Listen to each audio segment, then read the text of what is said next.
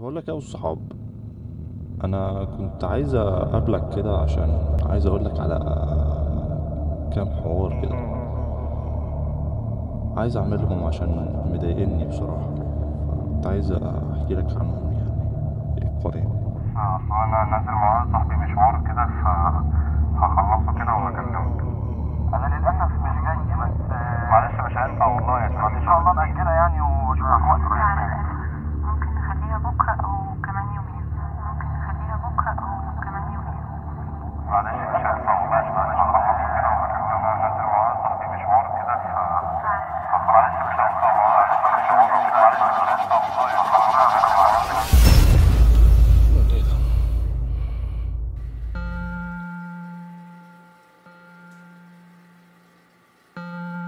بيتهيألي من السائي جدا إنك ما تلاقيش حد تحكي له.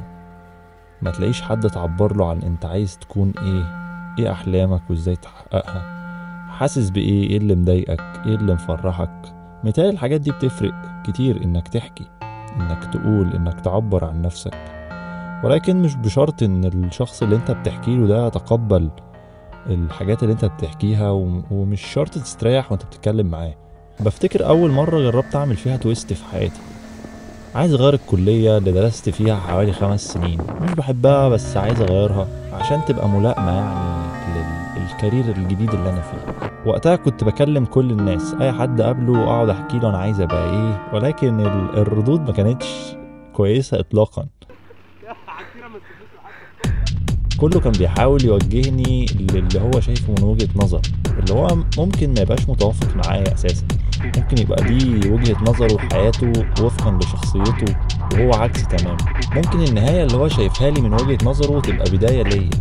بصراحة بعد ما زهقت من كل التجارب السيئة الفاشلة إن أنا أحكي مشاكلي قررت إني أكتب. لحد دلوقتي فاكر كل كلمة كتبتها.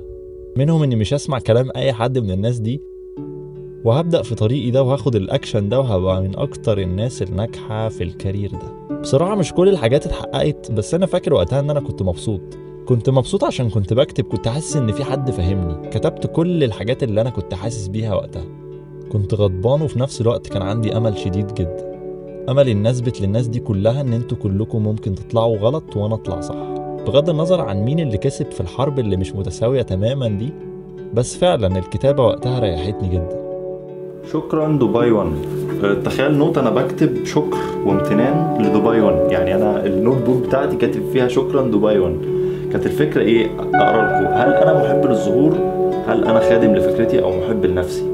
هل عايز أحقق أهدافي أو عايز أبقى مشهور.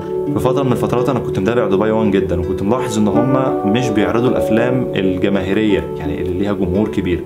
كنت سامع إن هم بيحطوا أفلام فيها فن حقيقي فيها تلوين مش ممكن فيها قصة مش ممكن. ومتهيألي إن هم ما كانش هممهم إن هم يبقوا رقم واحد على قد ما هم كانوا تحس إن هم أنا حاسس إن هم حابين اللي هم بيعملوه. وعملت إسقاط للفكرة دي على فكرة على نفسي بقى اللي هو هل أنا عايز أبقى غني ولا عايز أقدم الحاجة بالكواليتي اللي أنا عايزها تظهر بيه؟ فتخيل حاجة بسيطة زي كده بنت لنفسي أو بنت لنا منهج تفكير بمجرد إن أنا كتبت الحاجات دي. فأنا فاكر لحد النهارده النوت دي وفاكر كتبتها في أجواء كانت عاملة إزاي ويعني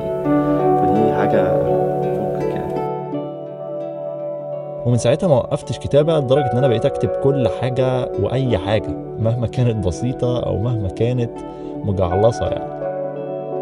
من أول أهدافي وطموحاتي للأتوبيس اللي أنا ركبته وطلع زحمة كل حاجة بمر بيها كنت بكتبها. لأن أنا عرفت دقت طعم حلاوة إن أنت تحكي وما ما تلاقيش حد يحكم عليك.